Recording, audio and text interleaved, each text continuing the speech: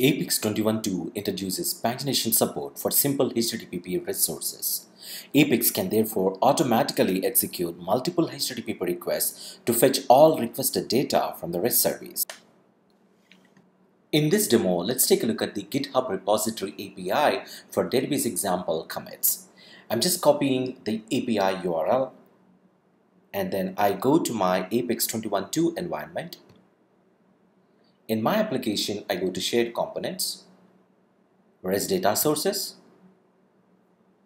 click Create from scratch, enter a name,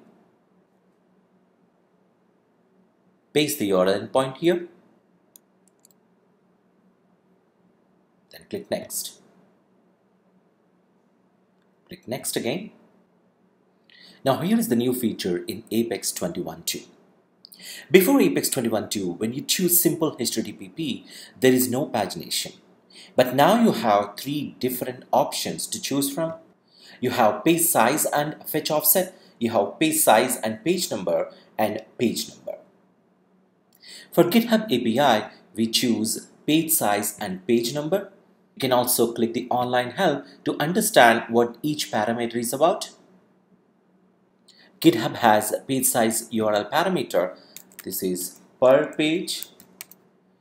And for GitHub API page size maximum is 100 for page number URL parameter enter page.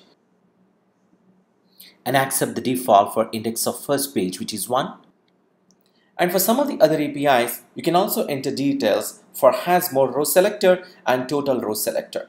We don't have these information for GitHub API so let's click next there is no authentication required. Let's click discover and now click create REST data source. We now want to see how the pagination works. So let's do some synchronization to the local table. Let's click the REST data source name. And here you see manage synchronization. Click this.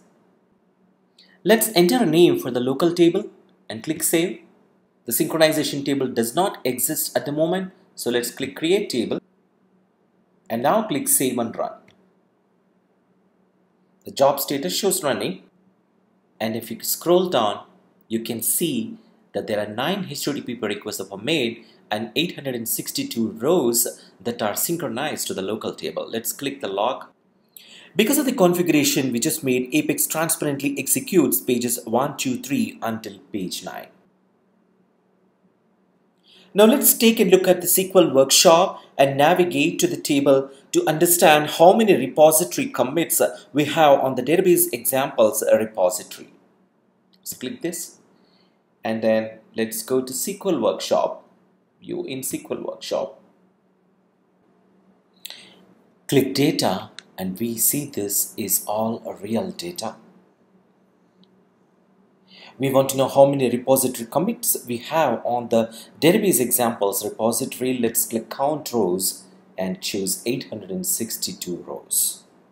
In this demo, you learn how to utilize the out-of-the-box declarative pagination support for simple HTTP REST data sources introduced in Apex 21.2.